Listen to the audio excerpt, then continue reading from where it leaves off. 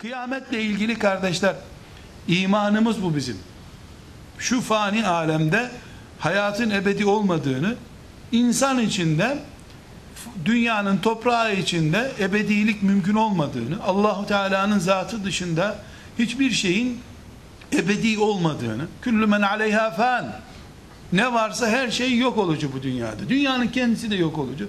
İnsan niye yok olucu? Çünkü yok olmak için yaratılmış bir topraktan yaratıldı. İnsanın aslı olan toprak da fani. İnsan da fani. Sadece ve yebka vechu rabbike zülcelali vel ikram. Kalacak olan senin Rabbinin yüce zatıdır. Celle Celaluhu. Onun dışında kalıcı hiçbir şey yok. Lakin biz kıyametle ilgili yani kıyametin vakti şudur budurdan ziyade kıyametle ilgili imanımızı oluşturan mantığın üzerinde durmak istiyorum. Birincisi kardeşler kıyamet vaktiyle ilgili bilgilerimiz daha doğrusu Resulullah sallallahu aleyhi ve sellem Efendimizin hadisi şerifleri Kur'an-ı Kerim'de kıyametten tasvir eden ayetler ki böyle bir parantez içi cümle olarak söyleyeyim Kur'an-ı Kerim'de kıyamet kelimesiyle beraber kıyameti anlatan isimler 50'den fazladır.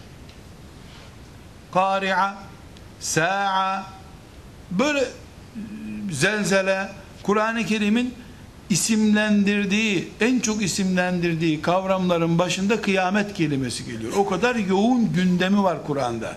Sure ismi var, ayetler arasında geçiyor. Yani kıyamet bizim günübirlik konularımızdan biri.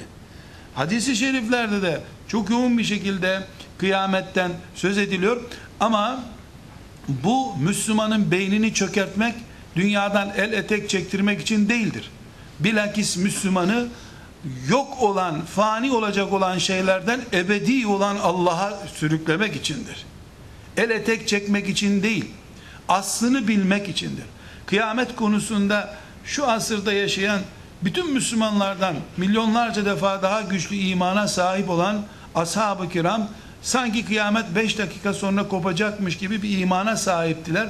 Ama Kisra'nın sarayını fethetmek için, Roma'yı fethetmek için, İstanbul'u fethetmek için binlerce kilometre yol yürüdüler.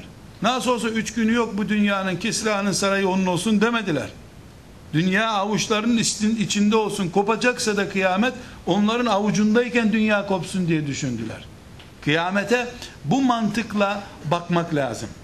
Evet, dünya fani, ancak bu fani yok olsun olmasın diye değil. Kaldıkça müminin elinde kalsın. Kopacaksa bir gün bizim bahçede kopsun kıyamet. Düşünmek lazım. Kıyamet bize niye uyarıldı? Allah'ı unutmayalım. Zikri unutmayalım. Hakikati, işin aslını bilelim. Faniden ebediye gideceğiz inşallah diye bilelim içindir. İkinci olarak kardeşler, kıyametle ilgili kıyametle ilgili ne kadar bilgi varsa bu Kur'an'dan alınmalıdır veya sahih hadislerden alınmalıdır.